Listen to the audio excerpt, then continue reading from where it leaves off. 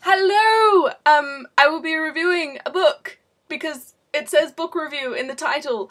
Um, I finished The Well of Ascension by Brandon Sanderson, which is backwards, I apologise, um, last night, and I was like, I had no thoughts on this whatsoever. I can't make a review. No, no, no. And then I just started writing on my phone, like just sort of in a text document. Um, or maybe, you know, I'll just sort of see what I thought. And then I wrote this huge long thing. So be prepared for a long review because apparently I do have a lot to say. So, um, also, right off the bat, warning, spoilers, not for this novel, but for the first novel in the series. This is the sequel. This is the second novel in the Mistborn trilogy. The first novel was called uh, The Final Empire. I just know it as Mistborn because that's what my book says, but it's also called The Final Empire. Um, I to tell you the premise of this novel, I have to spoil the first book. So do not watch this if you have not read the first book. It's an excellent novel and I would not want to be the one to ruin it for you because it's really great. Um leave if you have not read it. Um so this book, the premise is they have just been at the end of the last book killed the Lord Ruler, they defeated him, the gang succeeded in their goal, and now suddenly, you know, this this group of thieves, these group of con artists, are suddenly like having to take control of a country. Like they they they succeeded.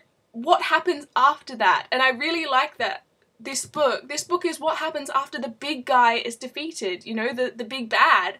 Um, it's what happens after Sauron and the ring are destroyed. It's what happens after Harry kills Voldemort. It's the it's the rebuilding of the country after the the tyrant is gone, you know, and I really like that. It's really realistic, you know, you can see all throughout history, like our history, when a rebellion happens, it isn't, you know, rainbows and lollipops right off the bat. It's actually a lot of work and it usually gets a lot worse and usually a lot messier um, after, you know, a ruler is defeated. It's, I like that Sanderson didn't shy away from that. He actually steered into it because it's really interesting. Like, there's a definite shift in this book towards political affairs, but that's where the drama is, that's where the conflict is, that's where the intrigue and interest is, and it is really interesting it does mean it has a very different tone and pacing, I think, compared to the first book. It, there's a lot of talking, you know, it's politics, it's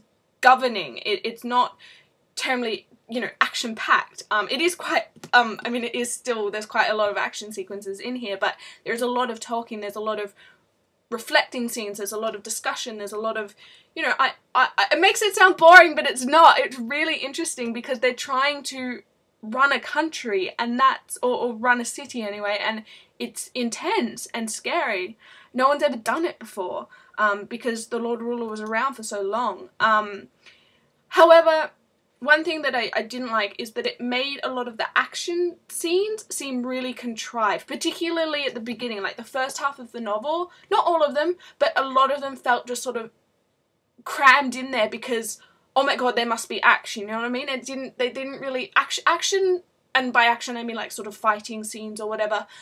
They're exciting to me when they have a purpose, when they're telling me something about a character, or they're forwarding the plot, or they're you know, whatever, whatever. Um, that's when they're exciting. And there was a, quite a few action sequences in here that didn't really do that at all. It was just, oh my god, action! Like, that wasn't as exciting to me as you know, the politic talks. I was like, let's go back to the, you know, discussion over laws. Um, I found it more exciting. And he does write them very well, um, those politic scenes. Um, you care about them very much because of the characters, and I did feel there was a shift, there was a more focus on characters in this novel in than the first one. I mean, the first one really only had Vin and Kelsier. They were the two characters in that novel that had, you know, POVs. They were the they were it, you know. Whereas with this one, there's a lot more characters that have POVs, both new characters that are introduced in this novel, but also old characters that we you know we know from Mistborn that now are getting you know a point of view and I get to see inside their head I get to see the world through their eyes and I think Brad Sanderson is very good at showing the world through someone's eyes, you know, you really get to see who they are and you learn a bit more about the world itself when you see it through, you know, a different perspective. Um, I will say though that some of the character development for Vin, especially when she begins to question her femininity, um, and like her role as like a woman, it while I like the idea and I don't think it was awful, it just the execution fell a bit flat for me. And to be perfectly honest, it felt like it was written by a man, and it was. Um, it wasn't like I said, it wasn't awful. It just it it felt like it was written by a man. It was a man questioning femininity rather than a woman questioning femininity. And as a woman who has questioned her femininity, you know, varying levels of it, um, it didn't. It it felt very stereotypical and like someone was sort of trying to write about it but not quite pulling it off. Um, like I said, it wasn't awful. Um, and I did feel it was a little bit slow in the beginning, like very, very slow. Um, I felt like Sanderson did a very good job of very efficiently setting up where the characters are and where the story is right at the very beginning. Like, we jump a year and we now know where they are. But, oh my god, my mum's come home. Okay, hold on one sec. Alright, I just had to shut my door so she didn't talk to me. Um, that sounded bad. But anyway, she, he sets up where the characters are very, very well, but then he sort of doesn't do anything with it for a very long time. It's uh, it's it was really up to page like 100, 150 where I was like, "Oh, okay, the story has happened, like a plot has arisen. Thank you for coming." Like it it was just very strange because 150 pages into Mistborn, like the plot was well and truly begun. Like I was engaged. It was it was happening, but here it felt quite a while to sort of ramp up into anything. Um, but it was still incredibly enjoyable. I really loved it. It was, it gave me the feeling, and I've never had this with a book before. It gave me the feeling of binge watching a TV show. You know that feeling when you, you know, you're, six episodes in and you're just you're just wanting more and more. It's like eating a bag of, bag of crisps. You know, you're just sort of shoveling it in. Um, it was like that, and I've never had that with a book before. You know, reading takes a bit of effort. You have to actually read and you have to imagine. But with this, it was so easy to read and so engaging that I just flew through it. I could read for hours and hours and I usually don't with this. It was incredibly fun. And there's a, there's lots of different plots all happening at once and yet you can follow along just fine and they're all they all sort of overlap and affect each other and it's all very interesting and it doesn't want to make you put the book down, which is pretty impressive considering it's, you know, a long ass fantasy novel. So, um, one subplot that I really did enjoy was sort of this um, mystery archaeology type story with Sazed. Um, part of it was that I just really like the character of Sazed, um, or Sazed, I don't know. I like Sazed, it's like dazed, but with this S. Anyway, it was a bit sort of Lost-esque in the sense that it sort of the answers Lost is in the TV show. It sort of gave the answers sort of gave more questions rather than answering stuff. Um, but it was really really enjoyable and it didn't feel shoehorned in because what he was studying, he was studying the past. He was studying the Lord Ruler's past and history and how he became the Lord Ruler and sort of what happened back then a thousand years ago. What the heck? And so he was sort of collecting all of these documents and these conflicting you know, um, scripts on what happened and, and, and what people think happened and it was it was really fascinating and it was definitely a subplot it just sort of but it ran through the whole book and it it was really crucial i mean things that were happening a thousand years ago are starting to happen again now. And so it was really important. And it wasn't um, I think it demonstrates the variety of stories that you can get in this book. Like there's a variety of subplots in here. And I really, I think they meshed really, really well. Um, and I enjoy, yeah, I enjoy Sazed a lot. And he also gets a new Terris, there's a new Terris person um, introduced in this novel, and I really, really liked her as well. And yes, she's a female. Oh my god, it's another female character. she's only a minor character, but still, victory.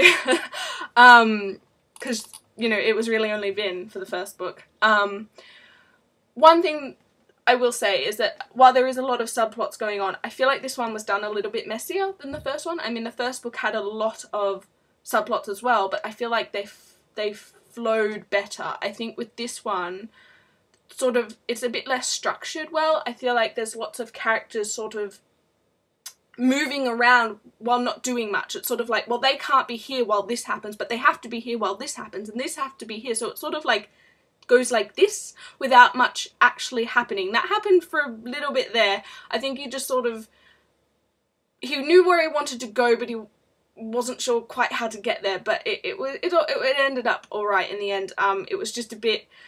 It sort of because of the multiple character perspectives, and he tends to jump from perspective to perspective within the chapter that where he'll sort of jump from subplot to subplot from POV to POV within the chapter, and it's a bit jarring. He didn't used to do that in Mistborn. He he would sort of stay with a character and stay with a particular plot for most, if not all, of the chapter. Whereas with this one, he sort of jumped around a bit, and I found it a bit jarring. It didn't flow as well, which, I mean, it was still very very nice, but I, I did find it a bit uh like hopping around. I didn't enjoy it as much. Um, once again, the ending is very, very, very good. I read it last night and I feel like it's a bit more tense than the first book. The first book was kind of more actiony and as much as I didn't know what was going to happen, I was sort of it it was like fighting and whatever, whereas this one it was more just like I have no idea what's going on. I don't know what's going to happen and it, it was suspenseful. My heart was sort of um it was very very good and I feel like it was a bit more open-ended it, not just the ending but the whole book really which makes sense. I think mistborn was a little bit more like closed off and like one whole story. Um and that makes sense. I think that you know he didn't know if he was going to get to write the full trilogy when he wrote mistborn so having it more sort of closed off makes sense. Whereas with this one he knew he was going to get the third book.